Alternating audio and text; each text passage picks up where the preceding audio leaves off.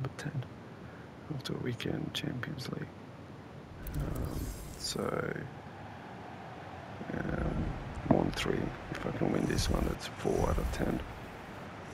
Um, you know, pretty decent compared to how many games I've actually played that uh, my goalkeepers had a, um, you know, a stinker, put it that way. Trying to not get upset about the fact or try to blame the goalkeeper or blame anybody for, you know, the game that I've just played and just enjoy the spectacle, really. The reason why I'm trying to teach myself to do that is to give myself the best opportunity to actually make something to maybe not have myself as uh, you know make it worse for myself. Um, because I can't change the fact that my goalkeeper is not performing. You know it's just the way it is. Um, so and you know you wouldn't believe how many things I've learned just by playing a game like this, like FIFA, for example. Learn the composure, the ability to just, you know, stay cool, calm and collected, even though, you know, I've blown so many chances, for example, my players have blown so many opportunities. Uh, back in the past, when I was younger, I would just lose my cool, you know, or maybe, you know, sometimes even break the controller, uh, just smashing it on the floor because here I am, I've done everything I could, and I still lose the game. Um, but as you get older, you understand that this is all uh, a waste of time. Um, you know, having a, uh, a hissy fit about something you can't control. So you, all you do is you control the controllables. And you know, something that you can't control, just get over it. It's not your fault that, for example, your goalkeeper is not doing what, you know, the stats suggest he should be doing. Which is like taking the, the easy goals. Um, the, you know, well, this is an easy goal, but I mean, you know, catching the ball when he should be, you know, catching the ball. Instead, you know, he would run forward instead of throwing himself at the ball. Um, being in two minds instead of, you know, stopping the cross. He just sits there and watches the ball. It's fine. Um, it's not up to me to, you know, tell the goalkeeper, yeah, you should do this, you should do that. Uh, but it all, all takes experience to understand that you can't control every aspect of your life. You can just understand that it's not up to you. Not everything is up to you. It's also there's also other things involved that make it what it is. Um, and I've still tried to work it out, and I don't think I'll ever work it out. If you, you could work out, for example, the uncontrollables, you know, it's like, it's almost like you've worked it out. You worked out the basics of it.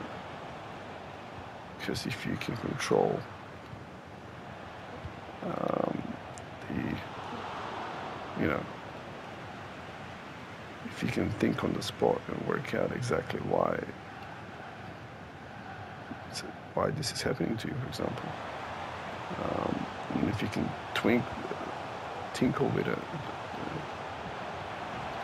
change it, change something or you know strategy or whatever, um, then you know you're definitely onto something that most opponents will only dream about or actually wouldn't even be able to dream about because they don't even know it's possible.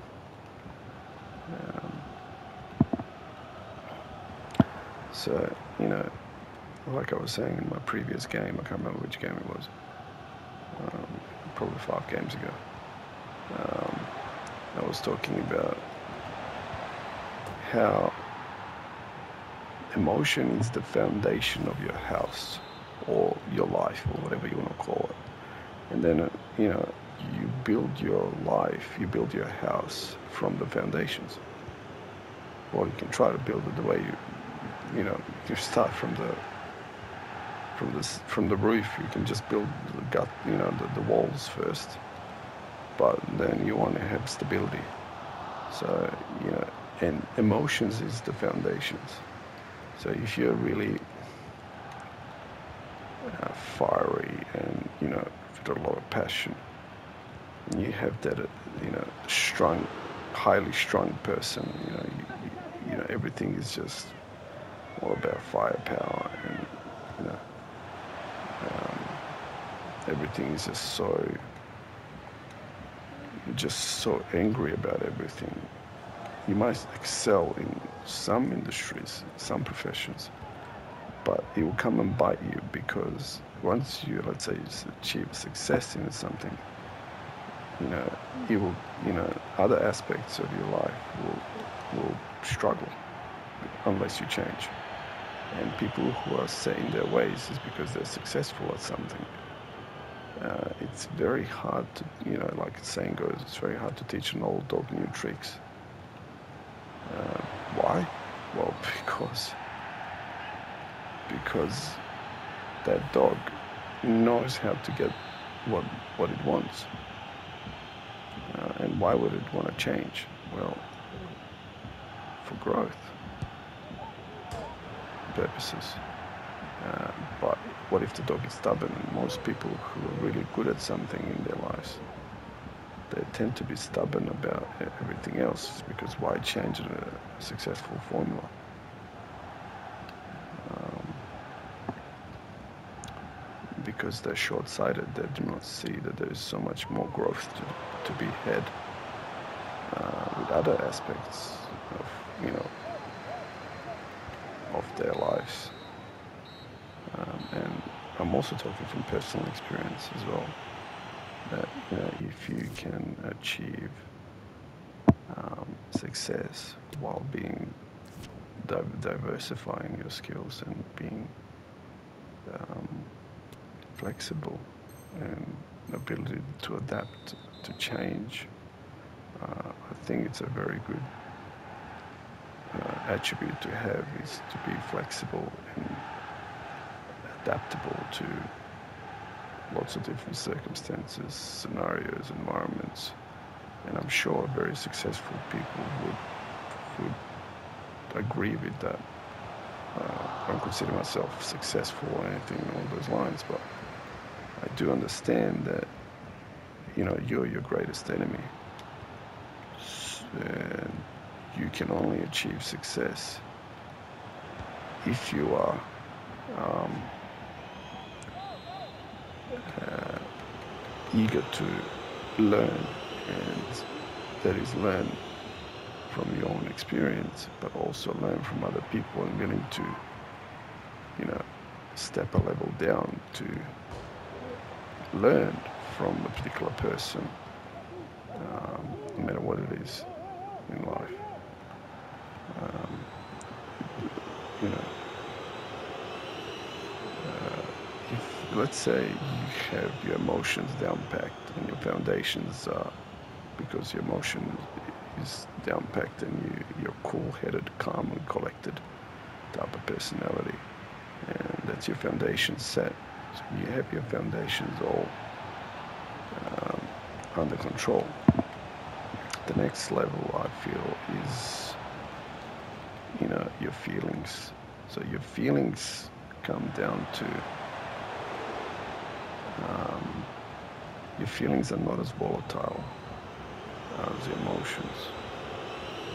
But the feeling gets, you know, its feelings from the emotions. So if you have, if it's cold outside, you'll feel cold, right? So the emotions pick up. Um, emotions get imprinted by how you feel and vice versa. So, give you an example.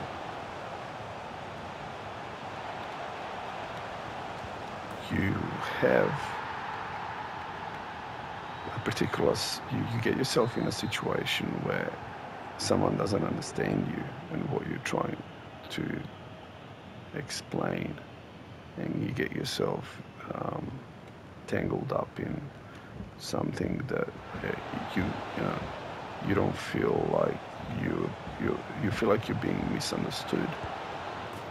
Um, that would frustrate you, so you start getting frustrated. So you feel you have a feeling of frustration.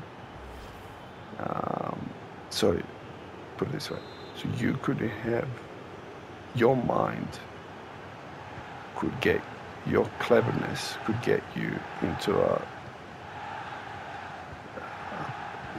call it a pickle or get yourself in a, a situation where you're misunderstood by someone else or by somebody or a group of people or whatever and you you end up getting yourself tangled up due to your cleverness or due to your you know um, ability to uh, work things out with your mind, you end up getting into a frustration, frustrated situation. Um, and you get frustrated, and your feelings get you um, feeling not good about what you got yourself into. And you start getting uh, emotional about it. Oh, he's quit. So he's obviously, his mind was not there. He started getting upset about it, and then his feeling for the game was not there. So he lost the fun because his feeling wasn't there anymore. And his mind was saying, like, I will never be able to come back. So his mind quit. Um, and once he started getting emotional, uh, that was it. There's no, there's, he, you know, he wasn't looking at a screen anymore. He was looking at, uh, you know, nothing. Um, and due to that, he decided that, you know, he wasn't having fun, so what's the point of playing? So he quit. Um, Henry was on the, on the way to getting man of the match for sure. So I put him on the bench for the last couple of games because he wasn't performing. Put him back in this game, the starting lineup, and he's come out firing.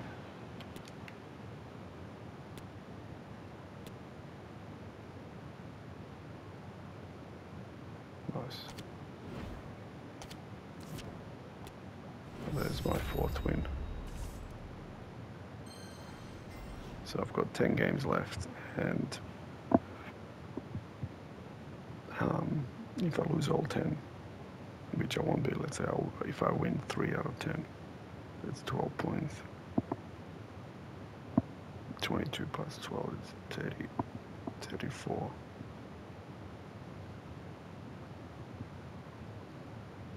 and then the other the other seven are just points 41 points so I'm pretty much